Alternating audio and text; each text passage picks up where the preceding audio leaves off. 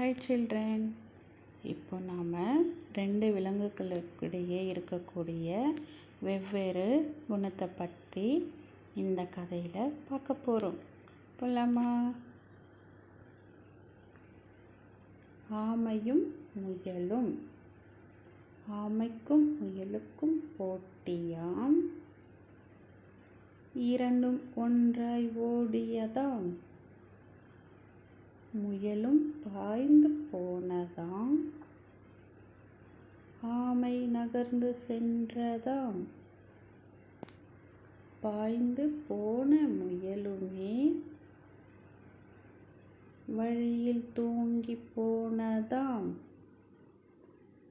நகர்ந்து சென்ற ஆமையோ முந்தி சென்று வென்றதாம்.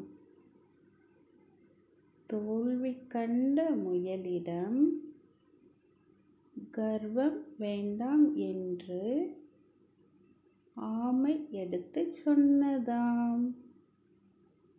தனக்கு மட்டுமே தெரியும் தன்னால் மட்டுமே முடியும் என்ற கர்வம் இல்லாமல் முயற்சி செய்தால் நம்மால் எதையும் வெல்ல முடியும். தேங்க்யூ